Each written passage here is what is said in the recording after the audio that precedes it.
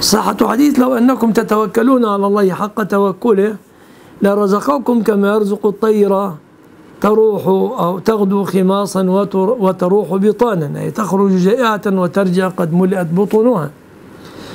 الحديث من ناحية الإسناد سنده سنده ضعيف سنده ضعيف. بارك الله فيك. أما عن المعنى فللمعنى شواهد.